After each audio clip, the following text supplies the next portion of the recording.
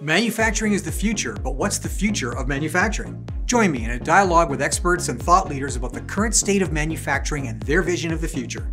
We cover a range of topics such as reshoring, the skills gap, automation, IIoT, additive manufacturing, Industry 4.0, and many more. Whether you're an OEM, Tier 1, Tier 2, or SME serving the automotive, aerospace, medical, energy, or consumer goods spaces, we discuss issues that affect you all the way up and down the supply chain.